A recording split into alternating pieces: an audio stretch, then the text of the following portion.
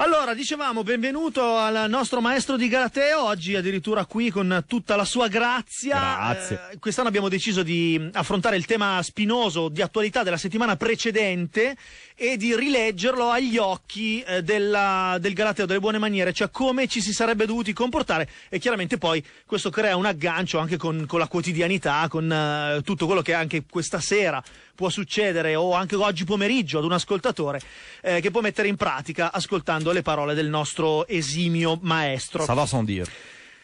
Il caso della settimana scorsa è stato il caso Polverini, non ce n'è. Ah, Allora, sì. Polverini costretta, diciamo che finalmente, dopo un lungo parto alle dimissioni. eh, Stranamente anche, perché io non l'avrei mai detto. Eh, infatti, per una volta tanto sembra che abbia vinto il senso, anche se in ritardo, il senso di responsabilità. No, comunque no, No, nel senso no. che parlare di senso di responsabilità e di eh. polverini mi sembra un accostamento ardito. Comunque, quello che poi è saltato all'occhio è che nella sua conferenza stampa, molto così accorata, è quello che tutti ricordano è li mando a casa io questi qua, li mando a casa io. Ora, sembrava veramente l'apogeo, la- il, il non plus ultra dello scaricabarile, perché chi li ha portati lì, se tu eri presidente della, della giunta regionale? Ah, saperlo. E quindi eh, un po' la domanda è come si è comportata, Come- cosa, cosa avrebbe dovuto fare, soprattutto nella quotidianità nostra. Lo scaricabarile è sempre un atto deprecabile? Domanda delle 100 pistole, in questo caso anche perché in Italia, che è il paese dello scaricabarile, del panciafichismo, del trasformismo, eh, delle cose più turpi del mondo. Panciafichismo vedo È che bello, Facchini, bello. panciafichismo gli piace. Questa ce la rivendiamo, eh? Lo potete rivendere. Su panciafichismo, quella roba lì, conto di tirar su due lingue. Sì. E anche un numero di...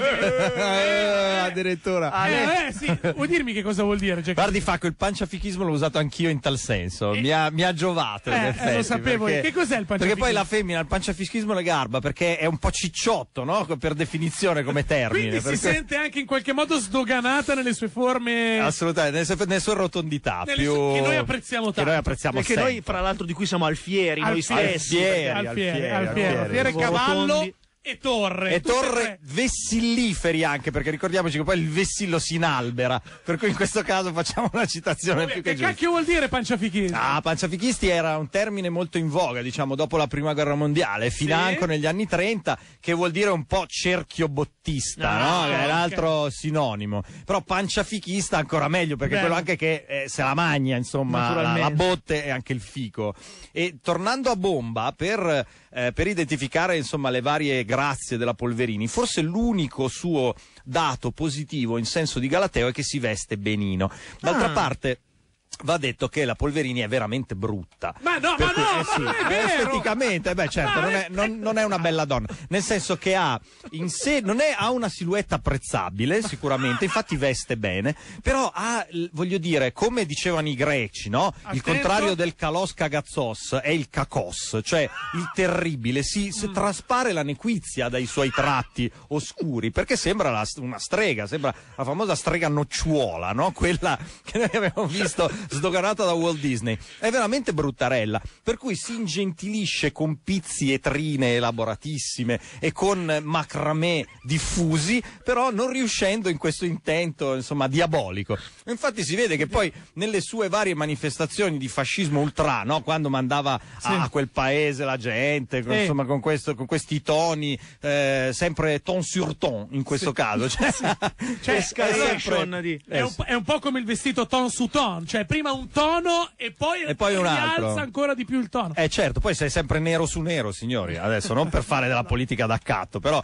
però va detto che in questo caso, e per rispondere alla domanda dell'Augusto collega, Ah, finalmente. Finalmente. Grazie, dopo sei minuti. Domanda che è stata fatta 8 è minuti. stato otto minuti fa, cioè ritornando sempre al panciafichismo, no, il, il, mm, Lo scaricabarile. lo scaricabarile non è veramente quello che gli inglesi dicono despicable, cioè veramente, veramente Va bene, inaccettabile. Faccio l'avvocato del diavolo, della coatta, se preferisci. Pure, Visto che, ha eh, fatto il linguino, l'ha fatto con lei, no? di Io spero per lei di no. di quello, di quello si parla, vado, vado a chiederti, ma scusami, ehm, il Galateo apprezza però il colpo di genio apprezza. eh, Sì. eh, Ma, ma il maestro di Galateo sta bia- la domanda- una cicca, era, cazzo. era la domanda finale. La prossima volta che vieni con la cicca in onda, Ma se- è ti giuro, ti inaccettabile. Ah, oh, americano. Ti strappo i peli della barba uno per uno con le pinze. Ma non si sente. Ma cosa no? sente. A Cazzo bocca aperta la stai mangiando, ma che schifo. Non è vero, non è vero, Vabbè. nego, nego. Scusa Facco, ti abbiamo No, è che questo, interrotto. scusate, questo è un attacco politico del Facco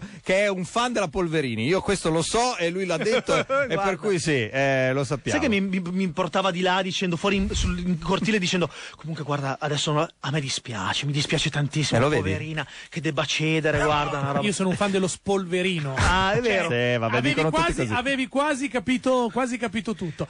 Tornando a noi, il Galateo non eh, apprezza il colpo di genio, eh, il salvataggio all'ultimo minuto, lo sgurz di eh, eh, so, salvatoresiana a memoria dal film, eh, piuttosto che quel- quello di Amici miei, quando descriveva il genio applicato a- Colpo al- d'occhio, rapidità d'esecuzione. Ecco, quella roba lì, il, ecco, il Galateo lo apprezza, e, però a volte, voglio dire, il colpo di genio per salvarsi nel finale può essere sovrapponibile a qual- quello che alcuni chiamano lo scaricabarile.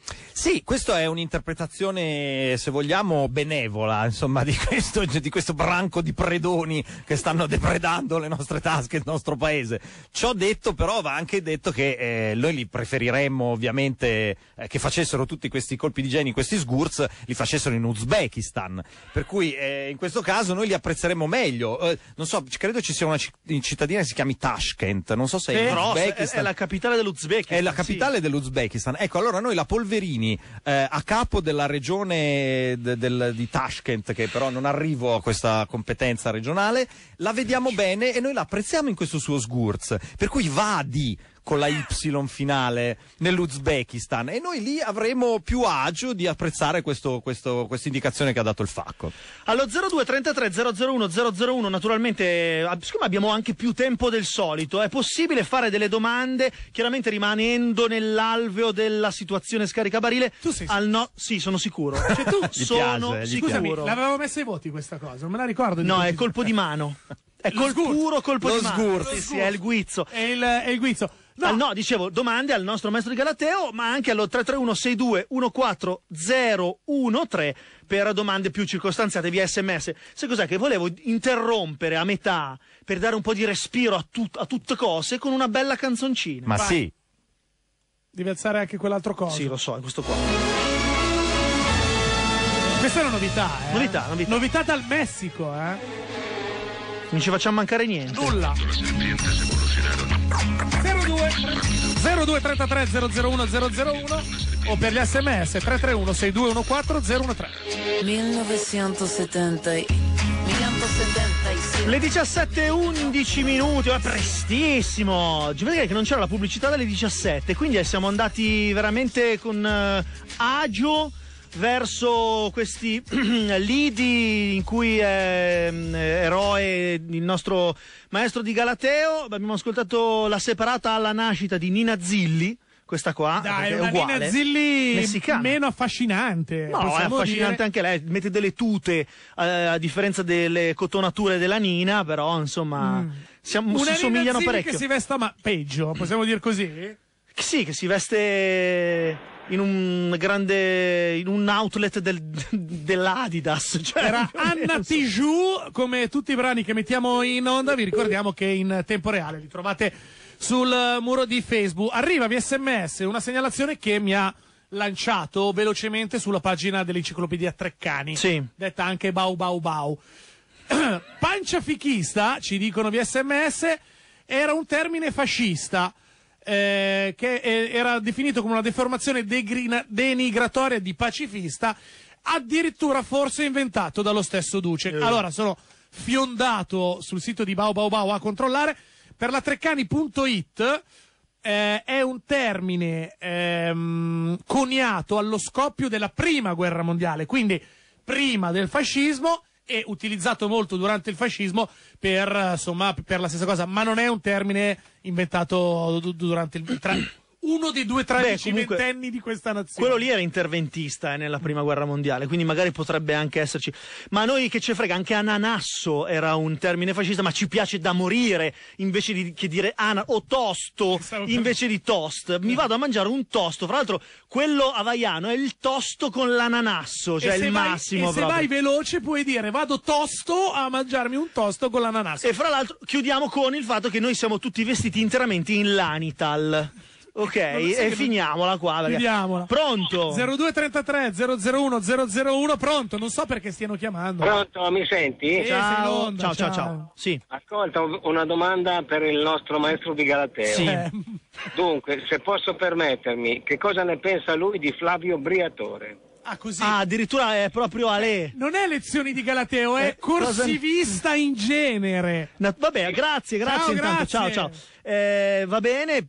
Naturalmente, scusami, Lapo, aspetta che ti Aspetta, rialzo il prima, microfono. prima di rispondere, sappi Sì. che eventuali, anzi probabili querele verranno affrontate con il tuo pool di avvocati. Esatto, sì. Ok, la radio si dissocia, prego.